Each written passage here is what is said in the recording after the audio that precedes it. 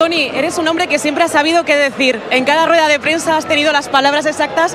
No sé si hoy es más difícil poder decir algo.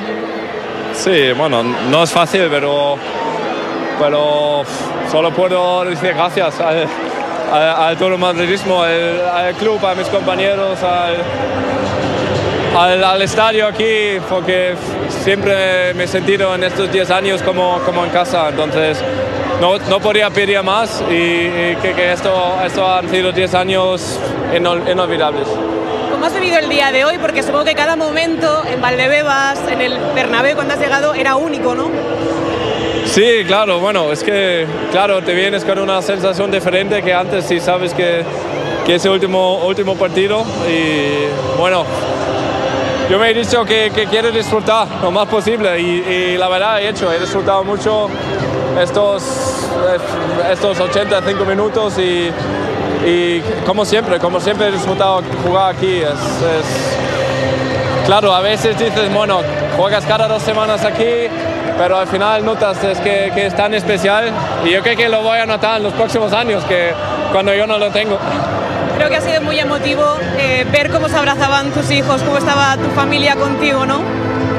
Sí, bueno, sí, bueno, yo he estado bastante fuerte hasta el momento que he visto mis, mis niños me han matado. no es para menos. ¿Qué te han dicho los compañeros? No, bueno, los compañeros es un, es un equipo especial. Siempre he dicho que, que, es, un, es un buen grupo y siempre, siempre me han dado cada uno el respeto que, que, que, que yo que, merecía. Y, y, es un grupo no solo de buenos jugadores, son, son buenas personas, muy buenas personas. Entonces, siempre me he sentido muy, muy cómodo en ese equipo. Y para terminar, como tú bien dijiste a todos los madridistas, Tony, ahora hay que dejar de pensar en esto, que hay que ir a Wembley a por la 15, ¿no? No, claro, es que es lo que siempre he dicho, por eso, por eso quería hacerlo oficial antes de este partido, para que luego, a partir de mañana, lo podemos olvidar ese tema y, y, y claro, la mejor manera a irme que sería ganar el título. Muchas gracias, Tony. Creo que, que hablo en nombre de todo el madridismo cuando digo que te, ya, ya te echamos de menos, te vamos a echar mucho de menos.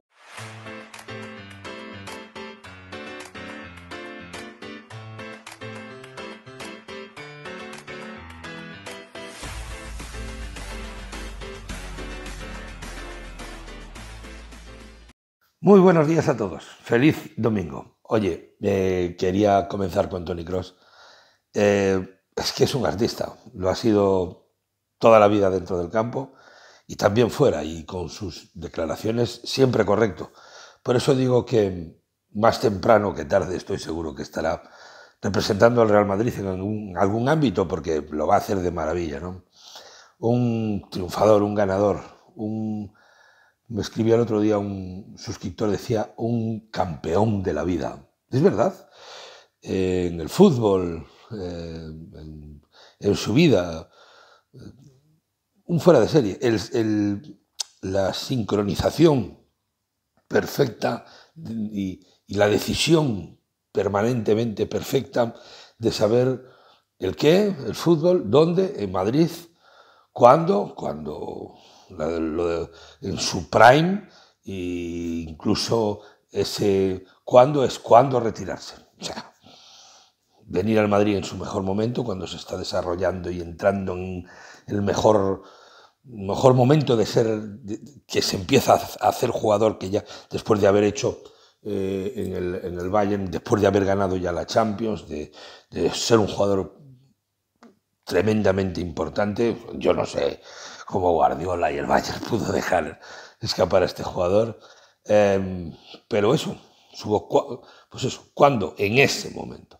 ¿Y cuándo? Pues cuando incluso eso se, decidió retirar. Una, una, una, pasada. Vamos con la rueda de prensa. Carlo Ancelotti eh, le han hecho un par de preguntas que, que llevaban profundidad de cara al año que viene y demás. Pero eh, me gustaría puntualizar algunas cosas y vamos a escuchar esas preguntas y vamos a desarrollar eh, aquello que yo creo que puede suceder el año que viene o cuál es la idea que, que puede tener el entrenador y demás. En fin, empezamos por Tony Cross, claro.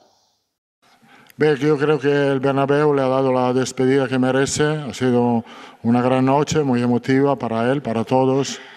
Tenemos la suerte de disfrutar una otra semana de él.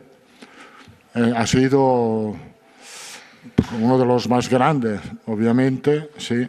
Un, gran medio de, de mucha calidad, eh, un carácter fantástico, poco ego, muy humilde, eh, siempre ha jugado para el equipo un jugador muy altruista.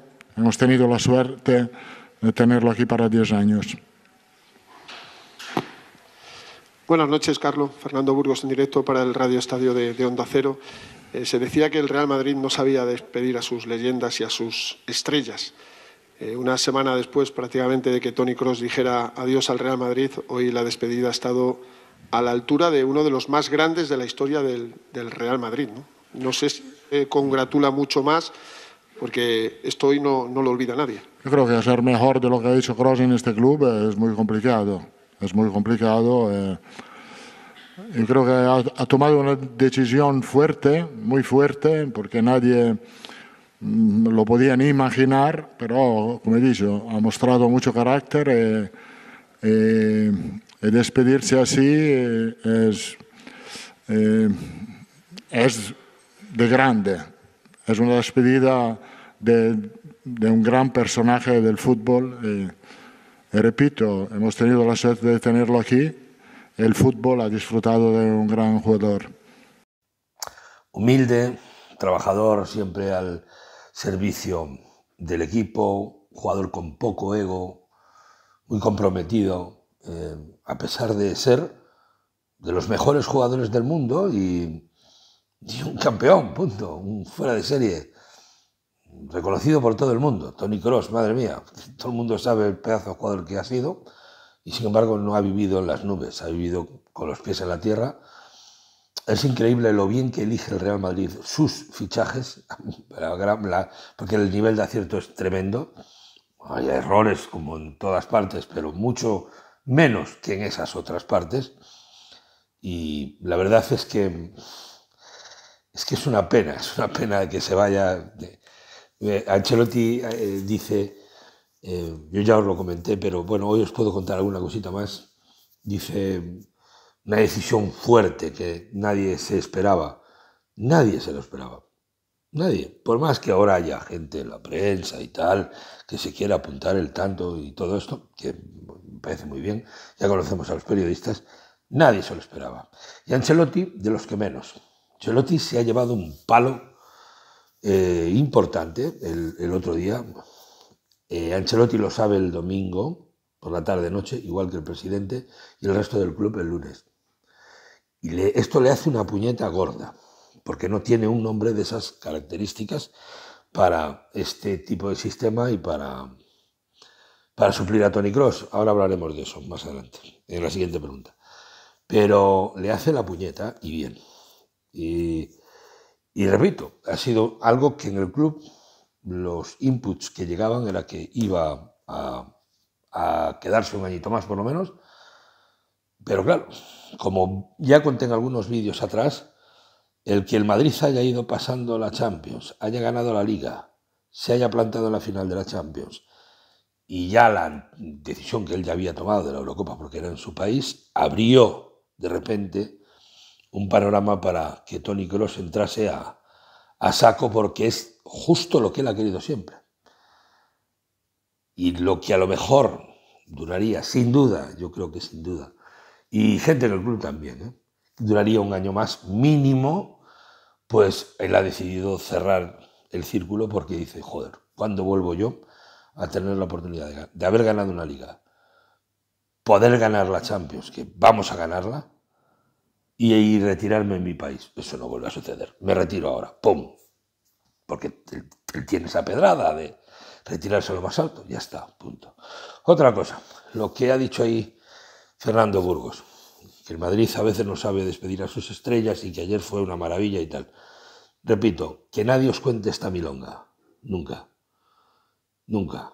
Jamás de cómo se retira un jugador en el fútbol o en el Real Madrid es responsabilidad únicamente del jugador. Que quede claro. Y esto de Tony Cross es un ejemplo. de cómo se comporte el jugador en su trayectoria y sobre todo en la parte final de su carrera, cómo se vaya del Madrid, ahí es de cómo depende de que tú tengas, a veces incluso no tienes ni la oportunidad de despedirlo bien o como, como tú querrías despedirlo. ¿Mm? Ya está bien de cargarle al Madrid todo, todos los muertos. O ya está bien de que algún jugador que han sido grandes jugadores, pero que no se han portado bien con el Madrid en la parte final de su, carrera, y todos sabemos que eso ha sucedido con algunos jugadores, y esos jugadores se han arrepentido y se han dado cuenta, y después han vuelto al club y el club los ha acogido eh, con los brazos abiertos, de cómo se comportan esos jugadores es cómo se da las circunstancias y si el Madrid te despide mejor o peor. Eso sí, el Madrid no deja tirado a nadie.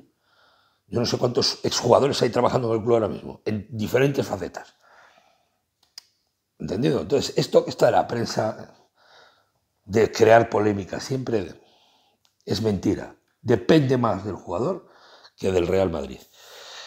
11 titular para Londres. He estado bien aquí.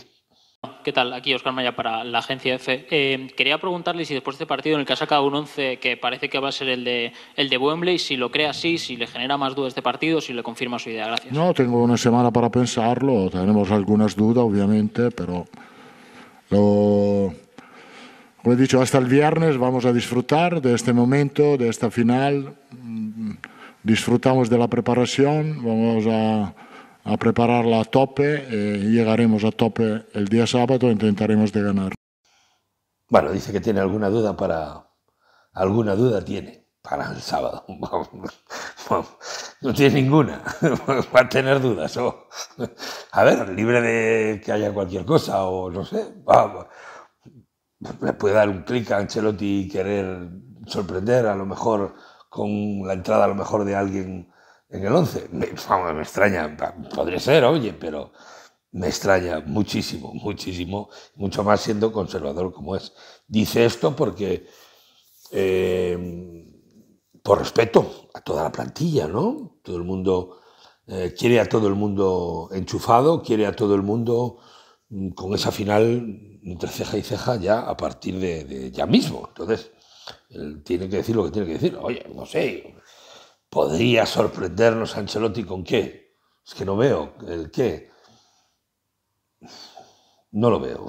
El 11 va a ser este, Courtois en portería, Carvajal, Rudiger, Nacho, Mendy.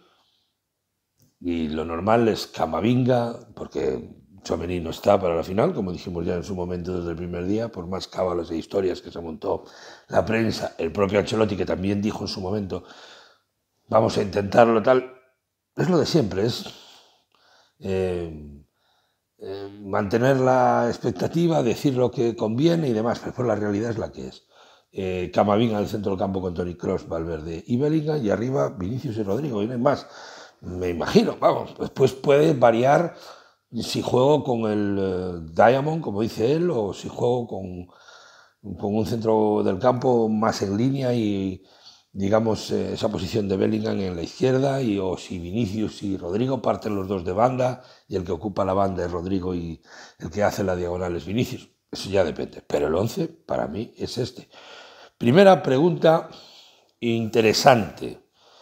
Los cambios de sistema, el que supone esto para el año, lo de que se haya ido Cross, eh, ¿cómo lo ve Ancelotti? Hace un año la salida de Benzema le obligó a usted a hacer cambios en el equipo, cambios de dibujo incluso. Ahora se va Cross. No sé qué cambios va a implicar la salida del alemán de Cross. Gracias. Eh, esta es una buena pregunta. A ver, a ver. Como he dicho, a nivel ambiental tenemos que pensar dos cosas. A nivel ambiental y nivel técnico. A nivel ambiental tienen que tomar más responsabilidad los que están aquí, desde, desde poco, un poco más de responsabilidad. Y a nivel técnico hay que verlo, hay que verlo. Creo que podemos pensar que puede ser un juego más vertical con jugadores que tienen mucha más energía, menos tiempo de juego. Bien, los que están aquí tienen que coger más responsabilidad. Estoy de acuerdo. Estoy de acuerdo y también se va a dar el tema de que van a tener más minutos, ¿no? O deberían tener más minutos, entonces podrán demostrar más, ¿no? hay jugadores muy preparados, ¿no? Muy preparados y que ya son muy jóvenes, pero ya tienen mucha experiencia en el Madrid, ¿no? Como pueden ser los, los Camavinga, Chomení y demás, ¿no? Incluso, si me apuro, Brahim, que este año ha entrado bastante más en juego, para el año ya será un jugador más asentado y demás. Guller no, Guller tiene que desarrollar su talento, ir entrando en el equipo, pero bueno, es un recién aterrizado, ¿no? Porque aunque lleva aquí una temporada entre las lesiones y que no ha jugado mucho y demás, Guller es un talento, Guller es un talento descomunal, es un jugador que el Madrid tiene entre manos, que eso va a ser bien llevadito y, dejándole que desarrolle sus virtudes. Y para eso, Carlos, una vez que empieza a contar con él, es, ideal. Eh, bueno, va a ser tremendo, ¿no? Pero, quiero decir, jugadores que aquí jóvenes que ya son como veteranos, Camavinga, Chouameni, ya han ganado Copa de Europa, ya, ya, han ganado muchas cosas, ¿no? Pero bueno, van a tener más, supuestamente, ¿no? No va a quedar otra, van a jugar más asiduamente y van a dar un paso adelante. Y yo creo que lo van a hacer porque son jugadores todos con personalidad, todos, todos ellos. También Brahim, por supuesto, Guller, todos. Em, y después está, él dice que va a ser un juego más vertical, no va a tener tanto tiempo, no se va a valorar Em, em, elaborar tanto la jugada. Sí, por el tipo de jugadores que tenemos, pero la gente está pensando que eso significa, además con la llegada de Mbappé y de Hendrik y demás, un 4-3-3 de manual. Yo no lo creo. Yo no lo creo. Llevo 15 días diciéndolo, desde que no sabía que se iba Cross, pero en el momento que supe que se quedaba Modric, dije, ya está, porque tiene, la gente que tiene en el centro del campo, tiene seis centrocampistas por lo menos, ¿no? Eh, mucha gente ahí. Y las salidas son la de Cross y Ceballos, ya veremos, porque no tengo claro que Ceballos vaya a salir, ¿no? Ya os lo digo, a, día de hoy, porque los jugadores dependen de ofertas, dependen de, de mil cosas, ¿no? Del estado de ánimo y dicen una cosa, mañana otra. Nacho es el mayor ejemplo. Hace un mes le pidió al club le pidió, no, le dijo, voy a salir eh, a final de, año. tiene una muy buena oferta de Estados Unidos, de dos años y a una pasta y tal. Y ahora, como el club tiene el problema que tiene con Militao y demás, y el club le está diciendo, joder, piénsatelo, quédate, te necesitamos y tal, eres el capitán y tal, está pensando que a lo mejor, aunque yo sigo diciendo que sale, ¿eh? Pero que puede girar esa decisión. Entonces los jugadores son así. Ceballos tiene oferta del Atlético de Madrid, tiene una oferta de Arabia, tiene otra oferta eh, del fútbol europeo. No sé, pero no sé si saldrá, ¿eh? Entonces, más allá de eso, que me voy, yo creo que el Real Madrid, por la estructura de plantilla con los hombres que tiene el centro del campo, el Madrid va a seguir jugando un 4-4-2. Lo creo de verdad. Y seré de los pocos que se equivoque, porque soy el único que lo está diciendo ahora mismo. Pero creo que es así. recurrirá al 4-3-3 en momentos, en diversos momentos de la temporada, sobre todo partidos más fáciles o partidos que, bueno, pues el Mister crea que pues, se den las condiciones para jugar un 4-3-3. Pero yo creo que la base del equipo va a seguir siendo un 4-4-2. Vamos, el, el, equipo que pondría en la final de una Copa del Rey, de una Champions, de un partido importante de Liga, Creo que la base del equipo va a seguir siendo un 4-4-2. Punto. Con Vinicius y Mbappé arriba. Sí, lo creo. Ya es que Rodrigo, Rodrigo tendrá que entrar en la rotación. Y es un hombre perfecto para entrar en rotación porque puede jugar en derecha, puede jugar en izquierda, incluso mejor en izquierda que en derecha. Incluso puede entrar en, de delantero. Eh, Hendrik, lo mismo. Hendrik no a la izquierda. Hendrik es un delantero por el centro o por banda derecha, que lo hemos visto hacerlo muy bien en Palmeiras por derecha. Por lo tanto, hay recambio para los dos de arriba todo el año. Y después se va a quedar Joselu, seguramente, porque el club ya le ha hecho oferta para quedarse, aunque Joselu tiene ofertas de fuera, sobre todo de Arabia. Pero Madrid yo creo que va a jugar un 4-4-2. Siguiente pregunta importante. Posición de Bellingham para el año. Yo eso lo tengo muy claro, pero vamos a escuchar al mister. Creo que también, vamos. Porque es que algunos eh, piensan que Bellingham es Tony Kroos minutos. El día que, que Cross anuncia su marcha, eh, por redes sociales nombra como heredero algo así a Jude Bellingham. ¿Usted cree que realmente puede ser su heredero en la misma demarcación y puede dirigir al equipo? No, yo creo que no. creo que más lo tenemos cerca de la portería, mejor es para nosotros. Creo que eh, eh, Tony Kroos es un jugador que no hay un jugador con estas características en el mercado, eh, pero tenemos que reemplazarlo de otra manera. Tenemos medio de mucho con mucha calidad, muchísima calidad, distintas. y tenemos que adaptar el juego de, la próxima temporada a estos tipos de características distintas de lo que tiene Tony Cross. Tony Cross solo hay uno, solo hay uno. Y tú no vas a bajar a Bellingham a la base de la jugada para comenzar la jugada, sacar el balón, hacer esos pases que hacía Tony tenemos que olvidarnos de eso. El único hombre que puede bajar ahí abajo y hacer esa función puntualmente en un momento dado, lógicamente es Modric, pero Modric no va a ser eh, titular. Eh, por eso yo digo, el juego del Madrid en el centro del campo va a ser de cuatro hombres y Bellingham va a jugar de interior, partiendo del lado izquierdo. Eso es lo que va a hacer Bellingham tirando sus diagonales hacia adentro y apareciendo en frontal y por supuesto tratando de conducir eh, el balón siempre con rigurosidad, teniendo a su lado a Valverde y de escudero de los dos, pues a, Camavinga, por ejemplo, o a Chouameni. Esto es lo que hay. Y, si cambia el sistema con esos cuatro y en vez de jugar más en líneas lineales, juegan en el diamond que dice él, en el diamante, pues jugará ahí en la punta del rombo de media punta. Y ya está, porque ya lo habéis escuchado, es la idea que tiene y cree profundamente que Bellingham cuanto más cerca de la portería mejor. Y yo estoy de acuerdo con eso. Yo no veo el 4-3-3, no lo veo por ninguna parte para el año que viene.